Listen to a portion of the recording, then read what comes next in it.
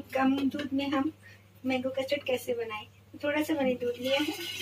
आप देख सकते हैं, दूध के अंदर मैंने दो चम्मच कस्टर्ड पाउडर डाला है। ये मैंने दो चम्मच कस्टर्ड पाउडर डाल लिया है।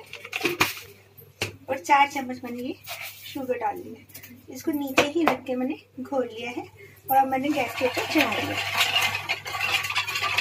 बस इसको हिलाना है बॉयल आने तक। और ये गाढ़ा हो जाएगा।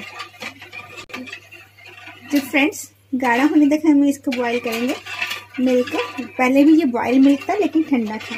उसके अंदर मैंने दो चम्मच कस्टर्ड पाउडर और चार चम्मच चीनी डाला है और मैं इसको इस तरह से बॉयल कर रही हूँ। और मैंगो मैंने मैंगो का पल्प लिया है मैंने, इसको रख लिया है साइड पे। जब ये कस्टर्ड बना लूँगी मैं तो मैंगो पल्प डाल के मैं मिक्सी ग्राइंडर में ग्राइंड करके इसको फ्रीज़र में रख दूँगी थोड़ी देर। और इसको बर्फ़ वाले खाने में नहीं रखूँगी। क्योंकि ठंडा नहीं खाना है। जमाना नहीं है, सिर्फ़ ठंडा करना है। तो ये देखो, गाढ़ा होना शुरू हो गया। ये मैंगो कस्टर्ड हम तैयार कर रहे हैं, घर पे ही। बाज़ार का खाना ना ही खाएँ।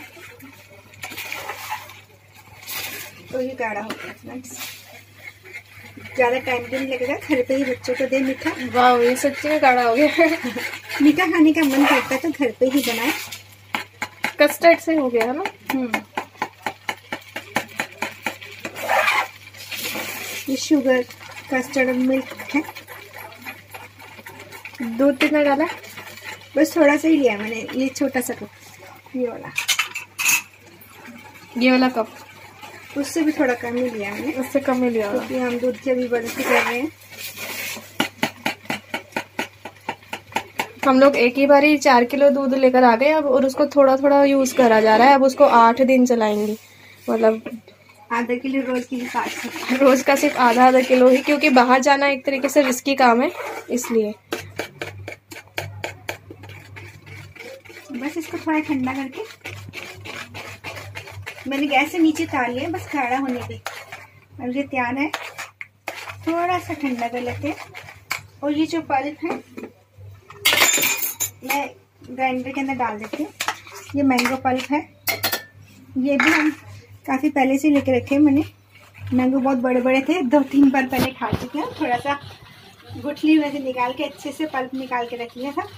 जिस, जिसको मैंने सोचा था कि मैं कस्टर्ड मैंगो बनाऊँगी। तो ये मैं ग्राइंड कर लूँगी अभी। तो मैं ग्राइंड करके आपको दिखाती हूँ। वो तो अभी दिखाना मैं बात ग्राइंड कर चुकी है मैंने।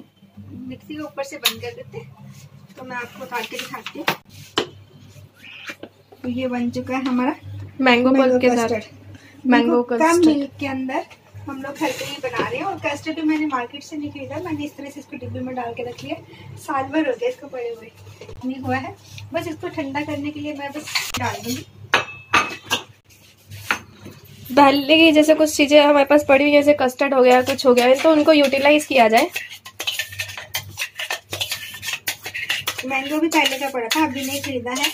मैं तो मैंगो खरीदे हुए लॉकडाउन से दो दिन पहले खरीदे हैं। फ्रिज के अंदर रख देती हूँ फिर आपको दिखाते हैं ये कैसे लग रहा है। फ्रिज में जमाने जा रहे हैं। कितनी देर जमाएँगे जमाना नहीं है क्योंकि बर्फ़ नहीं खानी है। मोदी जी ने कहा ठंडा बिल्कुल नहीं खाना फ्रिज के अंदर रखूँगी सिर्फ़ थोड़ा सा ठंडा होने के लिए सिर्फ़ टेस्ट के लिए। तो मैं इसको फ्रिज में रखने जा रही हूँ। बर्फ़ वाले खाने में नहीं रखूँगी फ्रिज में रखूँगी।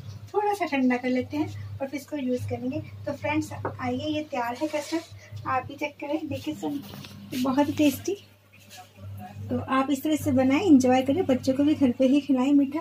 खाने का तो मन करता ही है। इस तरह से मैंने फ्रिज में रख के ठंडा कर दिया। आप देख सकते हैं बिल्कुल ठंडा है। पानी निकला ना?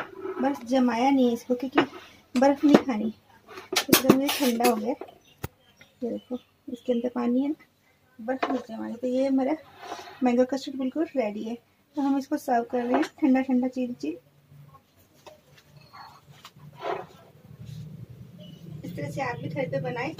कम चीज़ में भी ये बहुत टेस्टी बन सकता है हम इसे घर में। इस तरह से बच्चों को खुश रखते हैं बड़े भी खुश होंगे घर पे खाने पे। कि बाहर तो जा नहीं सकते। ये पौष्टिक भी है, मैंगो में बिल्कुल विटामिन ए है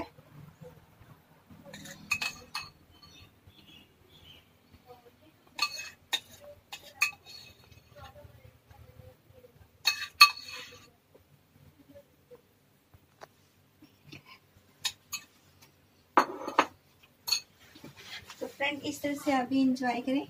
थैंक यू सो मच तो अपना प्यार बनाए रखें। वीडियो का लाइक ज़रूर करें। Thank you so much thank you so much friends इसी तरीके से वीडियोस को देखते रहिए लाइक कीजिए एंड कस्टर्ड ज़रूर इंजॉय कीजिएगा. Thank you